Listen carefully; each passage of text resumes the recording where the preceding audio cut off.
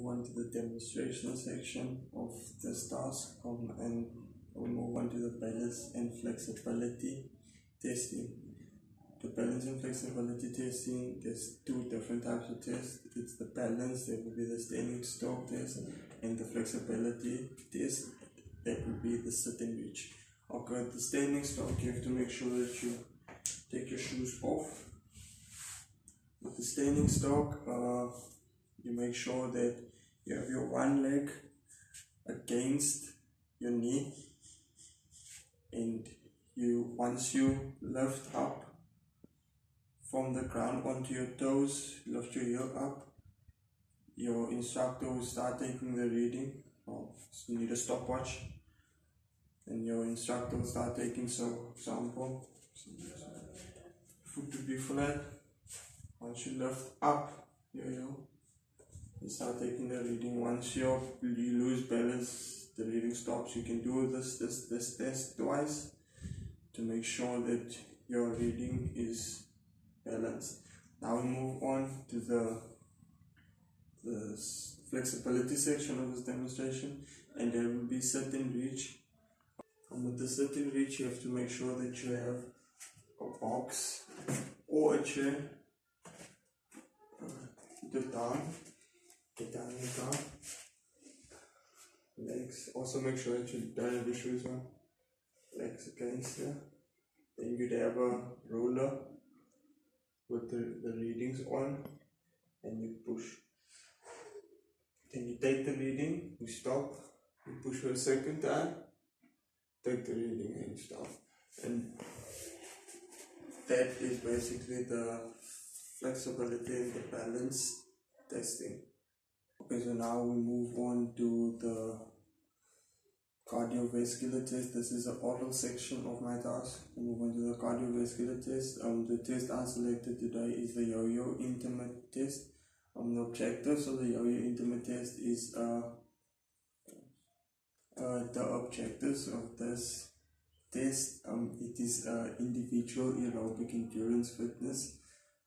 It is that is basically the objectives of the test. Um, and equipment needed for this test would be the equipment for the yo test. Uh, it's, you to make sure that there's a flat non-slip surface. Um, you get marking cones and uh, a pre-recorded yo-yo intermittent test audio. Okay, so now we move on to the strength endurance test. Uh, I'm choosing one. I'll be choosing the push-up test. Uh, the push-up test is a um, the protocols for the push-up test. Um, it protocols for the push-up test. It is uh, make sure that your hands are shoulder width apart. You have to make sure that your back is straight. When going down, you engage your core, making sure that you do not touch the ground when going down. Make sure that you are before touching the ground. Um, coming back up, resting point for this test um, would be on top. Um, sorry for that. Uh, the resting position is the starting position, and now that is the test, the strength endurance test push protocols for the push up. Okay, so now we move on to the ACSM 7 site skin fold. Uh, the difference between the male and the female chest skin fold would be uh, the male skin fold would be from your nipple to your armpit, it would be halfway from your nipple to your armpit, and the female skin, chest skin fold would be one third your nipple and. Um, we move on to the BMI test, um, body mass index.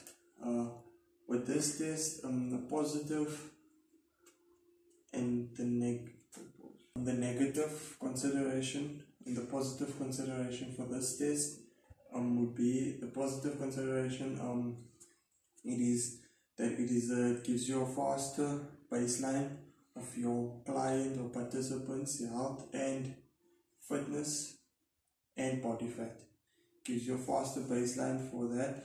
And the negative is that it's not consistent. It would explain, it would tell you that you're obese, but the person is not actually obese. So like you can't always rely on the BMI test. Yeah, that will be all for today. Um, I thank you. I hope you enjoyed the video.